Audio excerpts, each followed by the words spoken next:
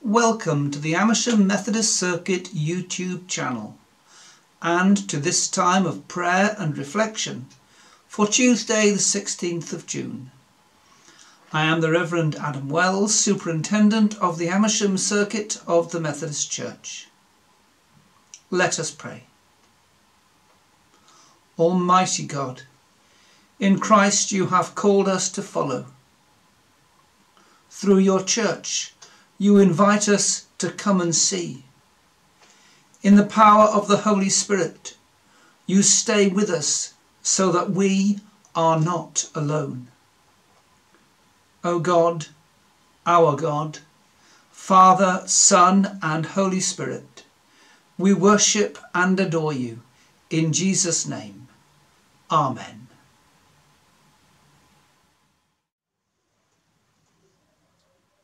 Psalm 54 Save me, O God, by your name. Vindicate me by your might. Hear my prayer, O God. Listen to the words of my mouth. Strangers are attacking me. Ruthless men seek my life, men without regard for God. Surely God is my help. The Lord is the one who sustains me. Let evil recoil on those who slander me. In your faithfulness destroy them. I will sacrifice a freewill offering to you. I will praise your name, O Lord, for it is good. For he has delivered me from all my troubles and my eyes have looked in triumph on my foes. This is the word of the Lord. Thanks be to God. The Gospel of John, chapter 1, beginning to read at the 35th verse. The next day John was there again with two of his disciples. When he saw Jesus passing by, he said, Look, the Lamb of God. When the two disciples heard him say this, they followed Jesus. Turning round, Jesus saw them following and asked, What do you want? They said, Rabbi, which means teacher, where are you staying? Come, he replied, and you will see. So they went and saw where he was staying and spent that day with him.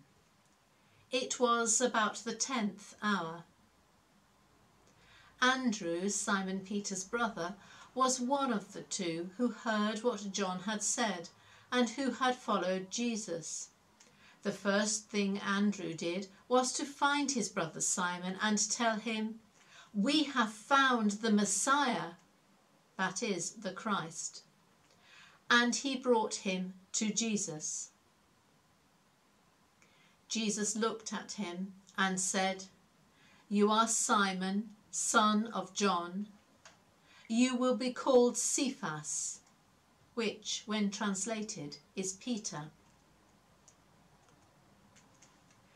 The next day, Jesus decided to leave for Galilee.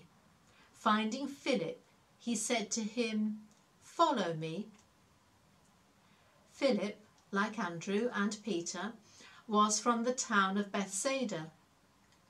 Philip found Nathanael and told him, We have found the one Moses wrote about in the law, and about whom the prophets also wrote Jesus of Nazareth, the son of Joseph. Nazareth? Can anything good come from there? Nathanael asked. Come and see, said Philip. When Jesus saw Nathanael approaching, he said of him, Here is a true Israelite, in whom there is nothing false. How do you know me? Nathanael asked. Jesus answered, I saw you while you were still under the fig tree, before Philip called you. Then Nathanael declared, Rabbi, you are the Son of God, you are the King of Israel. Jesus said, You believe because I told you I saw you under the fig tree. You shall see greater things than that. He then added, I tell you the truth, you shall see heaven open and the angels of God ascending and descending on the Son of Man. This is the word of the Lord. Thanks be to God.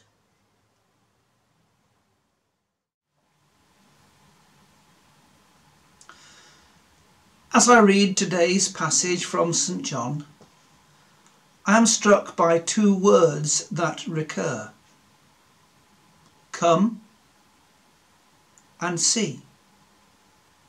When John's two followers ask Jesus where he is staying, he replies, Come and see. When Philip responds to his brother Nathanael's scepticism, he says, Come and see. Then at the end of the passage, Jesus touches on what they will see. I tell you the truth. You will see heaven open and the angels of God ascending and descending on the Son of Man. Come and see is the most open-ended, non-threatening and welcoming invitation you could ever have. It has no strings attached. It has confidence that what will be seen will be of interest that what will be experienced will say something to the person who is being invited. It carries no religious language or jargon, which newcomers may find difficult to understand. And yes, of course, come and see invites a response. Some will, someone will choose to come and see, or they will choose not to come and not see when we put these videos up, we put them up in the public domain because the invitation is to come and see. When we first get back into church, and things will be a little different, at least for a while, we might get asked by inquisitive friends, What is it like? The best answer in the world is, Come and see. To come and see is to be with, to find out from the inside and be part of the whole. We have known for a long time that belonging, that sense of feeling a part of anything, very often comes before believing. The image that Jesus offers at the end of the passage that lovely image of ascending and descending on the Son of Man. It's about a two-way relationship. God to the world and the world to God, brought about through Jesus. That wonderful reality has to be worth inviting others to come and see, whether that is online or in church. Amen. Let us pray. We pray for our world and for the church at this time. We pray for all who are working to create a vaccine. In the prayer handbook, we pray for the Methodist Church in Bangladesh, Pakistan and Sri Lanka. In the UK, we pray for the church in Ireland while in the Northampton district, on the 16th day of the month, we pray for the district itself, for all those who hold office in our district. On Tuesday, in the Amersham circuit, we pray for Amersham St John's and also for Chesham. Today we pray especially for those in business, from small businesses to vast supermarkets. Especially praying for those whose businesses will be open as usual for the first time in nearly three months this week. We pray for all who are sick in body, mind, or spirit. For those in the midst of famine or disaster. For victims of abuse and violence, intolerance and prejudice. For all who work in the medical and healing professions. We continue to pray for all those caught up in the riots in London at the weekend. We stand alongside those who demand justice. We pray for peace in the manner of that protesting, for non-violence in the expression of views. And now we take a time of quiet to make our own prayers during which we pray for each other and thank God that we are one in Christ.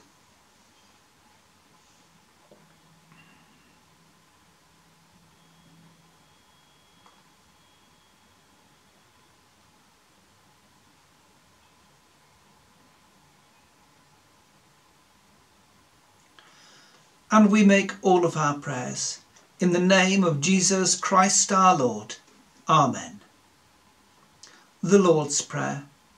Our Father, who art in heaven, hallowed be thy name. Thy kingdom come, thy will be done, on earth as it is in heaven. Give us this day our daily bread, and forgive us our trespasses as we forgive those who trespass against us. And lead us not into temptation, but deliver us from evil. For thine is the kingdom, the power and the glory, for ever and ever. Amen.